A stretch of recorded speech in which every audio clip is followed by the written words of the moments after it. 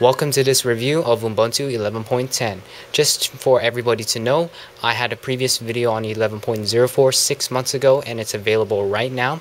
Uh, this video is going to be shorter than that one because I will be showing the minor changes and the biggest changes in 11.10. So, to start off with, after you're done watching that video if you want, but this video will show you more often of what everything is new. So, to start it off is the login screen. It has changed drastically it is far more better than the previous releases of Ubuntu. It's prettier and stable and a little bit quicker. Um, so the stability of it is very nice. Um, it catches a lot of people's eyes, eye candy. So next things is the dash and the launcher. They've enhanced it and made it more polished. Yes, of course, it's customizable. Um, you can drag out icons as the usual feature. Um, they removed the applications button here. It used to be start menu A.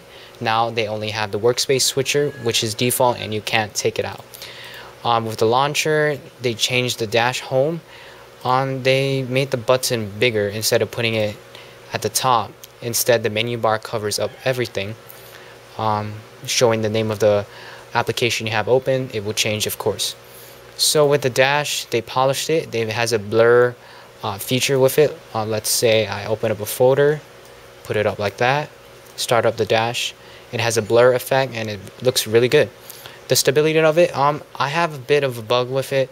It's pretty slow on uh, slower computers, but when I press the start menu, it has a late lag with it. It's not as quick as the previous one, so I hope they fix that in 12.04.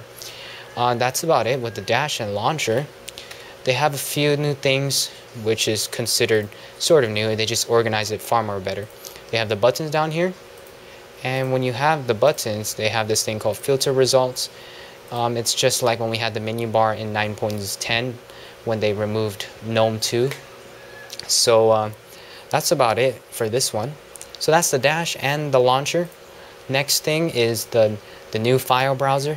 If you don't know what that is, it is basically where you browse through your files. And it uses Nautilus. Now they're using GNOME 3 Zone. It just looks prettier. That's about it. And yeah, so the third item we will be looking at is the Ubuntu Software Center. They've completely changed it. It looks far more prettier again. but um, it's quicker, has a new look, and they made it more uh, easy for you to look for things. Just a just all the things that are in 11.10 are the eye candy features. So that's pretty much it of 11.10. You can check it out yourself, available at www.ubuntu.com. So these are just the changes in 11.10. It's stable, has new transitions, everything is polished, and 12.04 may bring more. So that's about it, guys. Thanks for watching. Please subscribe. Watch that other video of 11.04's review so you can have more of an elaborate, detailed video.